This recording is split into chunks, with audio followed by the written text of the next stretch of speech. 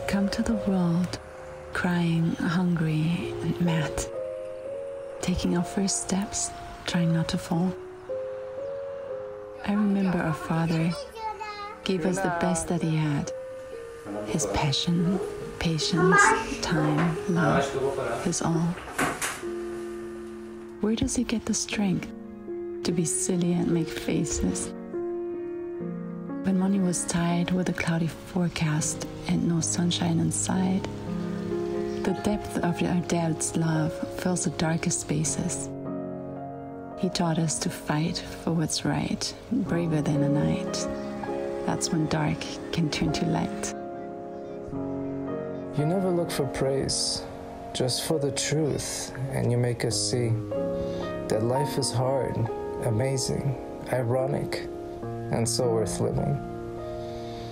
And how beautiful this world could be if all its children would be free, if all of us were more caring, much kinder, more forgiving. And then one day, when we children hold our parents' hands, the roles begin to change and the seeds turn into trees. White hair and slower steps, but that's not how it ends. We just begin to put our feet into the giant footsteps he leaves.